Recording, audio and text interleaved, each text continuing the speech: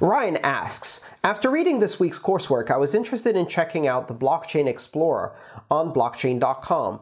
I saw a mining pool named F2 Pool quite often, and I noticed that on October 3rd, 2019, they mined 18 blocks. Is it fair to assume then that this pool alone potentially made a gross profit of $1.8 million in one day, not including transaction fees? What are the economics of these pools? How much of that 1.8 million is potentially profit? Well, um, it depends. It depends on the electricity cost, operational cost, and hardware cost of the miners who are participating. Now, keep in mind, and this is really, really important, mining pools are not miners.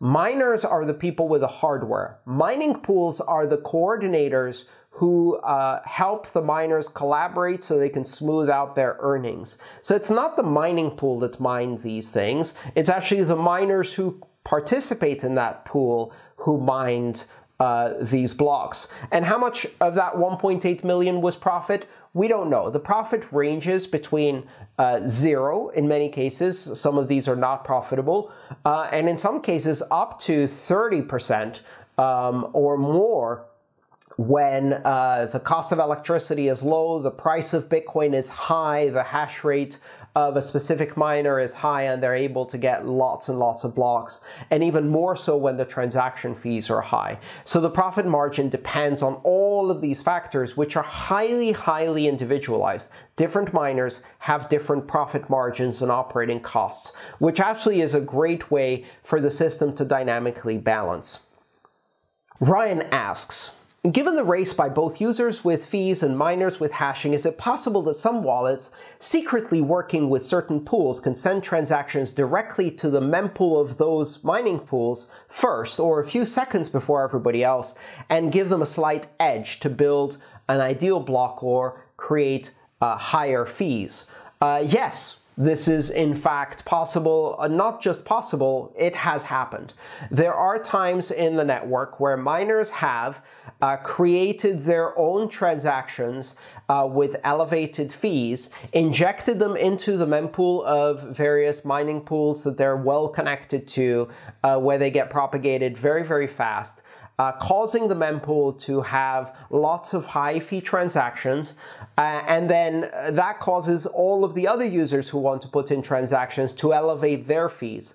Um, now, this is a strategy that is very risky. If a miner that is constructing these uh, in collaboration with uh, some wallet that they've built to do this, to jam high fee transactions into the mempool in order to elevate the prices.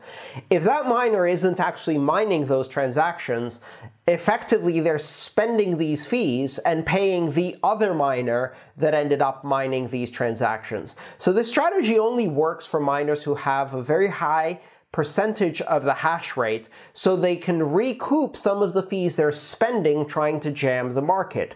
Of course, if all miners are doing this, and they do this kind of collusion, then what happens is that fees can be elevated. However, keep in mind, from a game theory perspective, if you're one of the miners and you notice all of your colleagues are jamming transaction with high fees into the mempool to drive up fees, what you can do is sit back not pay a thing and let them drive up fees while you just earn them by mining and you're not risking these transactions that might be mined by someone else, which means that you make as much money as they make per your hashing power uh, from the higher fees, but you're not spending money to create these higher fees. Well, if you think about it, if everybody do, does that, then nobody is willing to take the risk of creating the high fee transactions um, because those would benefit all of the other miners and they'd be taking on all of the costs.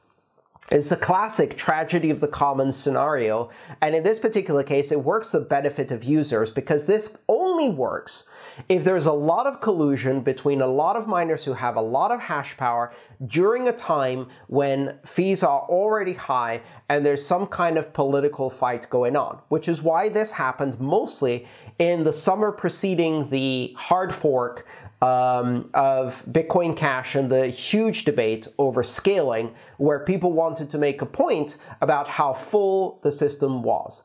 Now, it may happen from time to time again, uh, but it's a risky strategy for miners that they can only pull off when there's a lot of collusion, and where miners can easily reap all the benefit and pay none of the costs by taking advantage of that. So it's a, a losing strategy most of the time.